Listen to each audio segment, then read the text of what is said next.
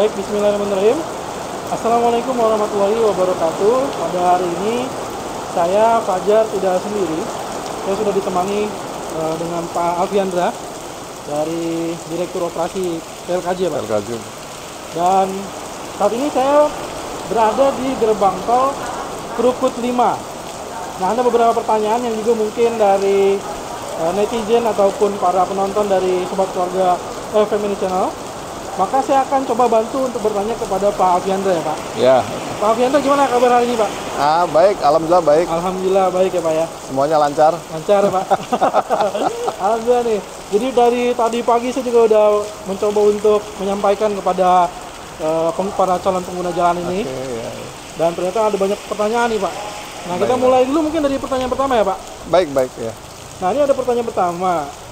Kenapa sih ada jadwal jam 8 sampai dengan jam 17 untuk fungsional ini Pak? Untuk fungsionalnya ya. Ya.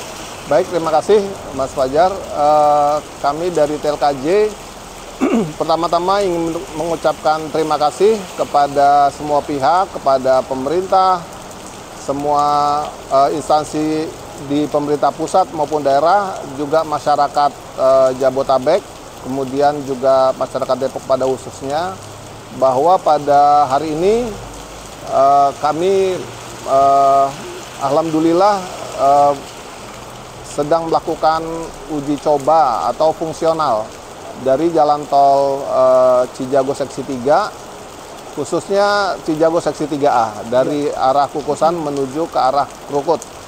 Jadi saat ini eh, sudah tersambung antara tol Cijago dengan tol Depok Antasari. Jadi eh, kendaraan yang dari arah Bogor, Cibubur, Cimanggis, Cibitung yang masuk dari gerbang Jatikarya ataupun dari arah Bogor itu bisa langsung menuju ke eh, Jor 1. Jor 1 itu tepatnya di sekitar eh, Cilandak Town Square tanpa melalui Jor 1, tanpa melalui Kampung Rambutan. Jadi bisa ya, Pak? Antasari ya, betul. Jadi bisa langsung lewat Cijago saja.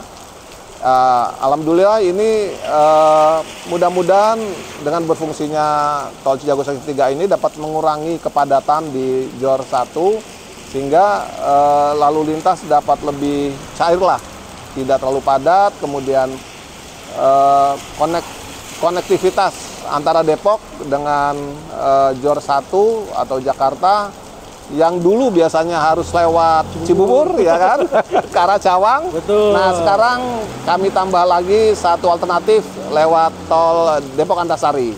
Sehingga eh, alhamdulillah mudah-mudahan bisa meningkatkan konektivitas yang selama ini mungkin hanya lewat satu jalan sekarang sudah bisa lewat dua. Jadi memberikan banyak alternatif untuk masyarakat pengguna.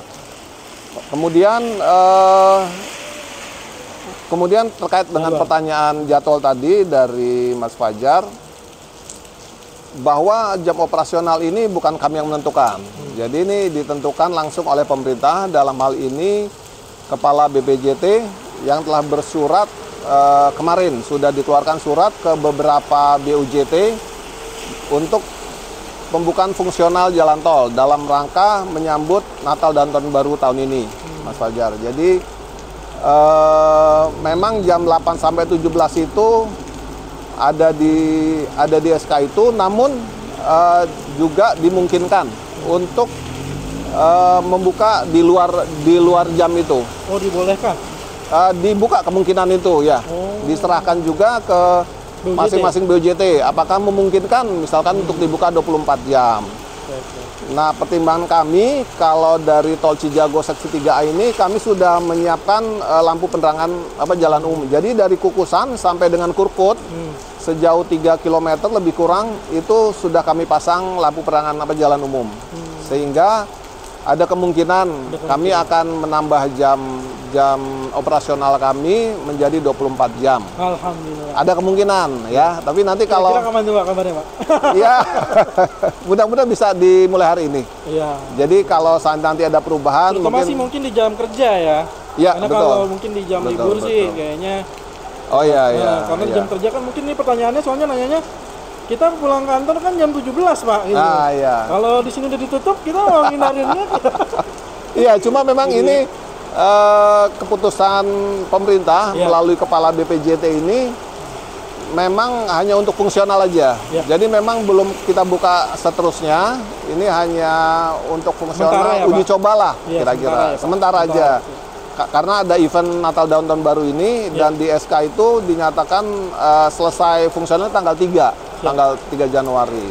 Jadi nanti terkait dengan tadi jam pulang kantor sekarang Mas saya lagi libur juga ya. Iya, iya, benar juga. benar. Mungkin nanti eh, ya, eh, jadi kami juga mohon doanya. Kami juga sekarang kan menyelesaikan seksi 3B. Ya, Sehingga nanti kalau nyambung lagi dari Krukut ke arah Bandara Serpong, ya? Cinere, ke arah bandara, itu sudah bisa kami fungsikan full. Eh, insya Allah nanti, oh, lebih manfaat banget nanti Pak. iya betul. Sangat bermanfaat itu pasti. Tapi ada satu yang mesti saya lakukan dulu dari TLKJ itu yaitu harus lulus uji layak fungsi dulu. Oh, Ah ya, Iya. yang pertama juga kemarin eh, apa namanya eh, masih banyak hal yang mesti kami perbaiki. Ini kami selesaikan. Kemudian ULF juga yang 3B nanti Berarti ada dipisah ya Pak WLF-nya Pak? dipisah. Ya, ada dua kali ULF, 3A sendiri, 3B sendiri. Ya, eh, target kami sih secepatnya ya.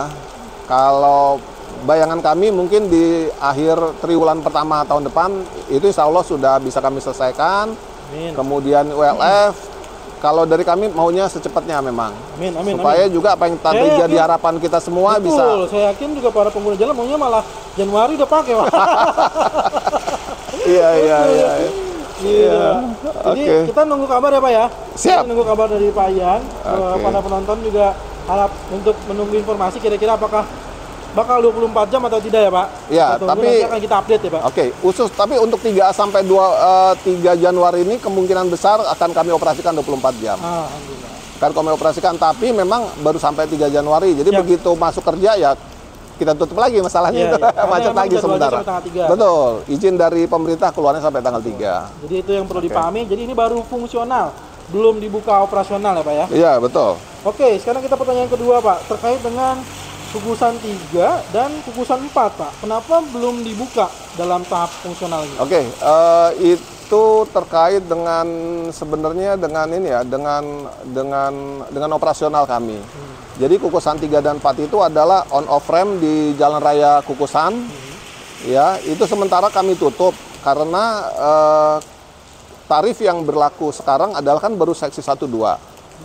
Nah, jadi apabila kendaraan eh, masuk dari arah Jagorawi keluar di Krukut di gerbang ini di di Krukut di Krukut 5, mereka hanya terkena tarif yang seksi 1 2 aja. satu. Jadi seks eh, tarif normal tadi. Sehingga yang tiga ini masih tetap gratis, sebetulnya. Jadi kalau dari Bogor mau ke Citos Hmm. atau ke Jor 1 memang hanya kami kenakan tarif seksi 1 2 saja. Iya, seksi Yang 3-nya masih tetap gratis. ya. Yang seperti Kalau mereka gunakan. Betul. Ya, Siap, siap. kira-kira itu. Karena gini, kalau itu dibuka Nanti bayar. Bukan, bayar, nah iya, kan? padahal Dia kan bayar. harusnya gratis. Betul. Kami juga yang salah nanti. Iya, Ya, gitu. Just- Padahal jadi tidak menggunakan Cijago 1 2. betul, gitu. Nah, nanti Ya. takutnya takutnya ada Ini supaya ya. nggak jadi Iya, iya. uh, mis Mis- uh, miskomunikasi aja gitu, Siap. ya. Oke, kita lanjut ke yang berikutnya, Pak. Nah, untuk eh, nah ini kan karena tadi kita bicara 3 3A itu kan gratis, Pak. Iya, iya nah, betul. tapi kan ini kan udah banyak nih pengendara masuk Iya, iya. terus step di Krukut 5. Ada tarifnya nih kan, Pak? Ada tarifnya nah, betul, tadi betul. sudah dijelaskan tarif normal. Betul. Tapi kan tarif normal kan 9.000, Pak. 9.000 ya. Nah, tapi kan pada saat step ternyata 12.000. 12.000. Oh ya. Ah, Jadi yang sisi 3.000-nya itu Betul. sebetulnya ada tarif eh, Depok Antasari yang sekarang juga apa sudah berlaku gitu. Jadi sebetulnya eh, kalau kita dari Antasari keluar di Krukut yang dekat Batching Plan ini, yang paling dekat juga tarifnya juga sama 3.000. Hmm. Sama 3.000. Sama Oke. juga sebetulnya. Oh, jadi, tarifnya tarif yang berlaku di Desari. tarif yang berlaku Betul. di desa. Jadi, jadi tidak ada penambahan tarif, ini hanya tarif existing Cijago Seksa 2 dan tarif Desari. Desari. Begitu juga itu kita jumlahkan. sana ya, Pak. Gerbang tol Krukut 3 juga sama berarti. Dari 12.000. Krukut 3 juga sama. 12.000 ya? Dari arah eh, Krukut ke arah Kukusan juga sama. 12.000 juga. 12.000. Iya. Baik itu udah jelas ya untuk masalah tarif juga. Nah sekarang kita bicara berkaitan dengan dua apa akses ke Sawangan nih pak. Sawangan, kan kita iya. sebenarnya punya satu gerbang tol itu Pak. Gerbang Iya, yang di depan 4, 4. ya. Iya, betul. Nah, kira-kira ada pertanyaan nih Pak. Kenapa gerbang tol Krukut 4 belum dibuka? Iya. Baik. Begitu sebaliknya Terima Pak. kasih. Sebaliknya ya. Dari Sawangan Dari Sawangan Rem rem 6 ya ke arah Kukusan juga Betul. belum eh, apa belum dibuka. Sebetulnya begini dari dari sisi konstruksi dari sisi konstruksi kam- eh, yang jadi kewajiban TLKJ adalah di apa rem 4 dari arah Kukusan ke arah Sawangan itu sudah kami selesaikan. Sebenarnya sudah siap juga dibuka. Cuma memang eh, yang pertama, yang pertama di dari arah Sawangan ke arah Kukusan yang menuju ke rem 6 itu masih ada pekerjaan konstruksi yang dilaksanakan oleh Depok Antasari. Jadi mungkin itu yang menjadi pertimbangan sehingga itu tidak difungsikan. Dan kebetulan memang surat perintah untuk untuk fungsionalnya ini tidak memasukkan rem eh, 4 ini yang dari Kukusan ke Sawangan maupun sebaliknya. Apa rem 6 dari Sawangan ke Kukusan itu tidak tidak diperintahkan eh, oleh pemerintah untuk dibuka begitu. Baik, baik. Nah, terus mungkin kita ke pertanyaan terakhir nih Pak. Ya.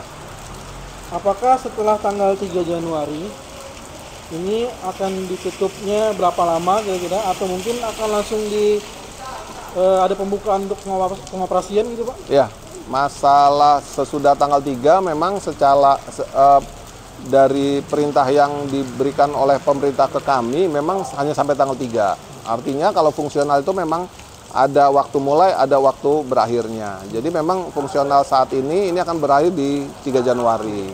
Setelah itu akan kami tutup lagi, itu juga sekaligus berkenan dengan temuan uji layak fungsi kemarin yang memang cukup banyak dan baru belum semuanya lah kami selesaikan. Jadi ketika ditutup kami akan sedikit menyelesaikan eh, dulu dan eh, apa namanya mudah-mudahan yang sertifikat uji layak fungsi sebagai syarat untuk beroperasinya satu ruas jalan tol bisa keluar.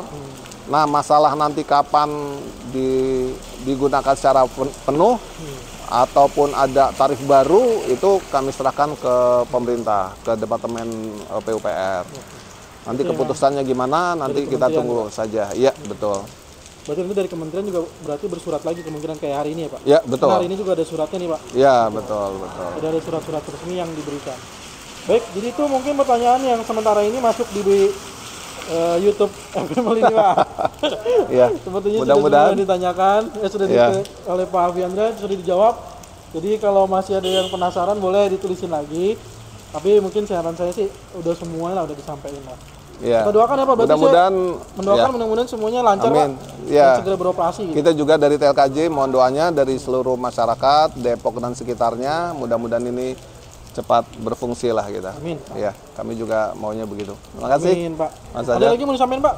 Eh, nggak ada, itu ada aja. ya? Eh, Baik. mungkin nanti informasi selanjutnya bisa diupdate. Siap, saya update Pak. Mudah-mudahan pokoknya semua hal yang positif untuk para pengguna jalan dan juga masyarakat Pak. Oke, Terima kasih. Oke. Baik, terima kasih informasinya ya. Demikian eh, FM Channel pada video hari ini. Kurang lebihnya saya juga mohon maaf.